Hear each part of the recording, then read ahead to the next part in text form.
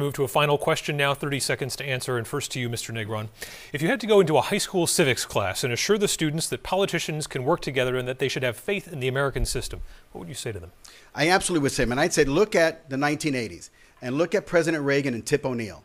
They couldn't have been further apart on the political spectrum, but they sat together shoulder to shoulder to get good legislation done.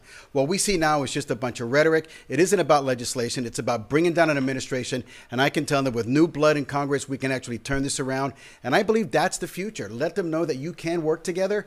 That's what we're based on. We're not based about this we versus they. That's what we have with the Democrats, and I think we can do better. Congresswoman Kuster? I would explain to them it's one America. We're terribly divided now, but after this election, I look forward to bringing everyone together in January.